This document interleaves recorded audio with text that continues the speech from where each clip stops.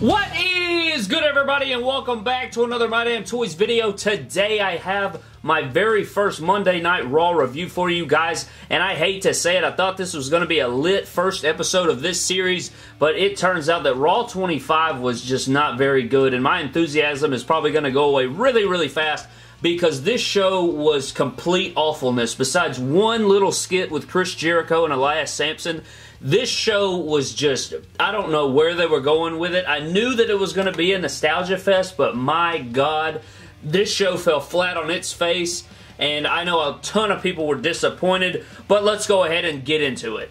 Alright guys, so the show started off with the McMahon kids coming to the ring, Shane and Stephanie, they come out they talk about Raw 25, yada, yada, yada, all that business. And then they introduce their father, the one and only chairman of the WWE, Vincent Kennedy McMahon, comes out to the ring. And, you know, they're all talking and good jazz and they're having fun and they're whatever. And uh, I'm not going to lie, this, this was a great first segment. I thought that Vince was on fire. Um, they presented him with a plaque and it was like 25th anniversary of Raw, whatever and they talked about they uh, you know they had to start a GoFundMe to even get the plaque, and the people of Brooklyn presented him with this plaque.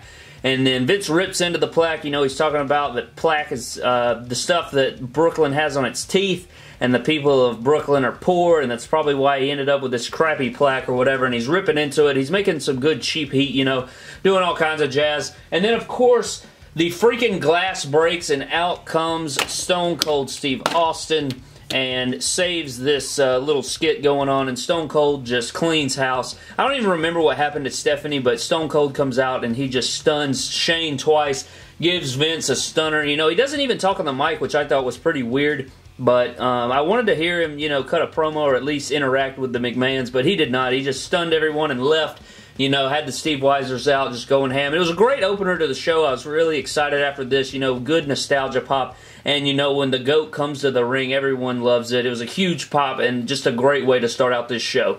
It would quickly fall downhill from there. Then, of course, it would not be Monday Night Raw without a freaking multi-women tag team match. I am absolutely sick of seeing these matches. I feel like every single week on both brands, we have just been just freaking multi-women tag matches have been shoved down our throats. So, of course, we have to have Asuka, Sasha, Bayley, and freaking, I don't even remember who else, versus Nia Jax, Absolution, and Alicia Fox. Of course, the face team wins. Just your typical eight whatever women tag team match.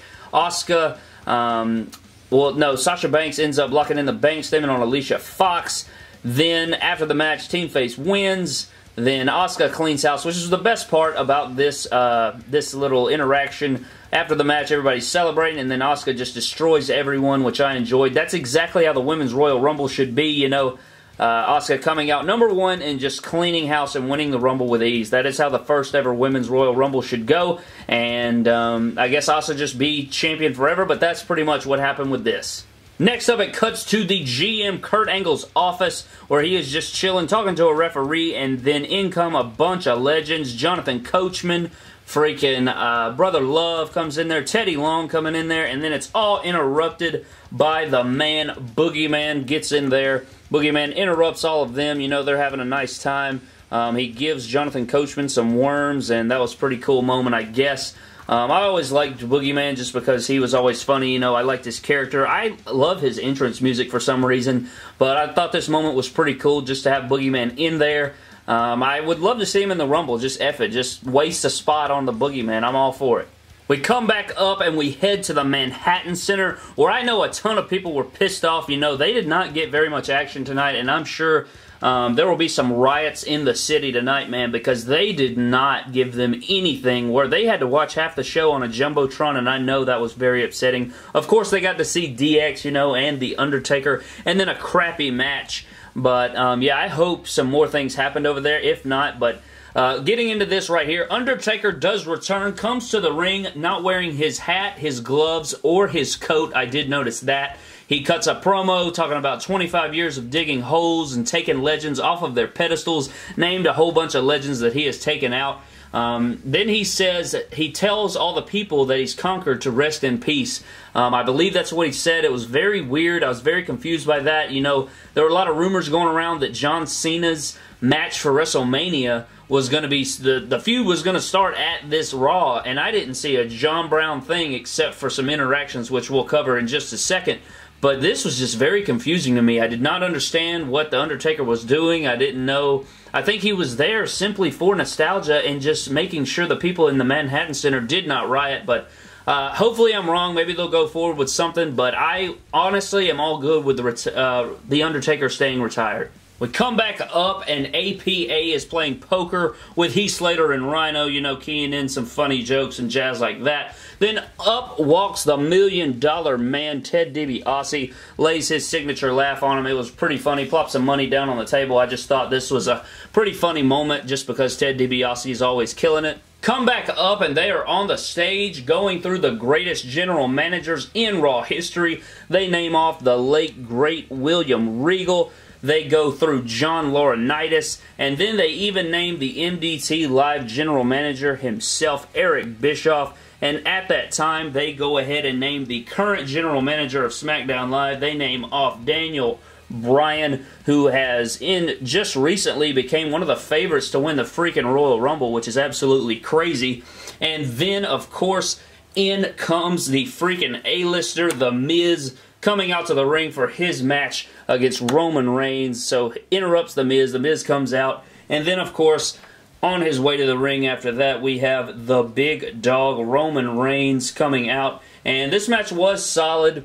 Um, I thought it was pretty good match. Um, a typical Raw match. I like the ending. Uh, I could have sworn to Jesus I thought that Roman Reigns was going to kick out of that second skull-crushing finale and hit his face on the turnbuckle. I thought for sure that he was going to win, but he did not. So now, ladies and gentlemen, the big dog is no longer Intercontinental Champion, and the crown now belongs to The Miz. So The Miz is now an eight-time Intercontinental Champion, and this worries me because this could mean that Ro Roman Reigns is going to win the Royal Rumble. I hope not, but it could most certainly turn out that way.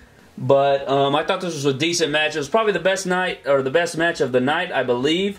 Um, looking over my notes here, but um, yeah. We come back up and Jeff Hardy and MVP have joined APA and company at the table to play some poker. Just cutting up, just another skit to, uh, you know, for time filler. Come back and it is Christian and the Peep Show his guests tonight are Seth Rollins and Jason Jordan, the Raw Tag Team Champions. Jason just getting booed out of the freaking building, man. I swear to Jesus, he was just getting destroyed out there. But um, he interrupted Seth, you know, and was trying to brag about his dad and how he, you know, helped Raw or something like that. Um, of course, in come Cesaro and Sheamus. The bar do interrupt them. So here comes Cesaro. Here comes Sheamus. They cut a little promo in there. And then, of course, you know it had to happen. Um, the bar gets into the ring. Jason Jordan, I think, tried to attack either Cesaro or Sheamus.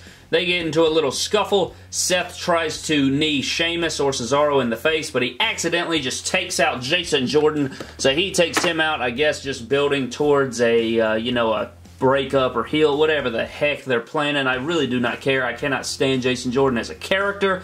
Very boring. Great in-ring wrestler. Just his character development and his acting skills are just awful. And I am just ready for something else to happen with him. Get rid of this stupid titles off of Jason Jordan, just please. Up next, we had a promo, or not a promo. Up next, we had a freaking interview with Alexa Bliss. Up walks the SmackDown Live Women's Champion Charlotte Flair. Talks about, I don't even know, she cut some useless, worthless promo that literally made no sense. Um, it was pretty much a, just a nostalgia act. Up walks her father, and they both woo at the same time. Just made no sense. And Ric Flair looked he, like he was about to pass out right there, man. Uh, he just did not look good at all. We cut back and Natalya, Titus, and Apollo have joined APA. I believe Dana Brooke was also thrown in there. And then we are interrupted by Bray Wyatt's entrance and we are thrown to the Manhattan Center for a matchup between him and Matt Hardy. So now we're live at the Manhattan Center. Bray Wyatt taking on Woken Matt Hardy. And this match was just not good at all. I feel like every time I looked up, we were on a commercial break. It was just not good. Um, I believe this is the first time they've had a match. I could be wrong, but if this was the first time, this was just dreadful. And I don't know where you go from here. You freaking, I feel like they have just devalued the crap out of freaking Woken Matt Hardy. You make him out to be this, you know, uh, specimen. You make him out to be this great big thing, and you freaking make him lose to Bray Wyatt. And Bray Wyatt just has not been on a good tear as of late either. This has been just just atrocious. I did not understand why Matt Hardy had to lose here. Um, I just did not understand that. And um, the match ended so abruptly. It was like commercial, commercial, little spot, commercial. Uh, Bray Wyatt wins, and it was just not good to me. Then we move on to the best women in Raw's 25 years. They announced the Bella Twins. They announced Maryse. Kelly Kelly, Lillian Garcia, Jacqueline, Torrie Wilson, Michelle McCool, Terri Runnels, Maria Kanellis, and Trish Stratus.